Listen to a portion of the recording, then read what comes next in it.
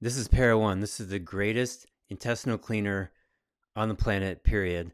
And it's one ingredient, Mimosa pudica seed.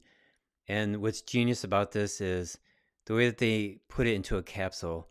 So you can take this and out come four foot tapeworms or rope worms or maybe nothing.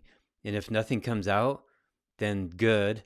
Or maybe there's things coming out that are microscopic that you can't see with your bare eyes. But usually somebody has a change. 60% or more of the people that take this, they see parasites coming out.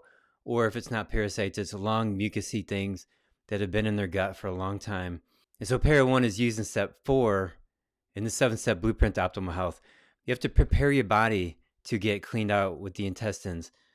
And there are things, diet is step one, and then increasing energy is step two, increasing drainage is step three.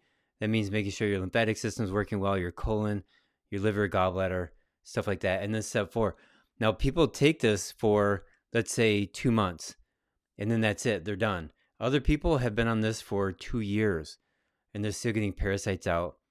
And sometimes people need more, like medication, for example, to get the rest of the parasites out. But this is simple, it's inexpensive, it's easy to use.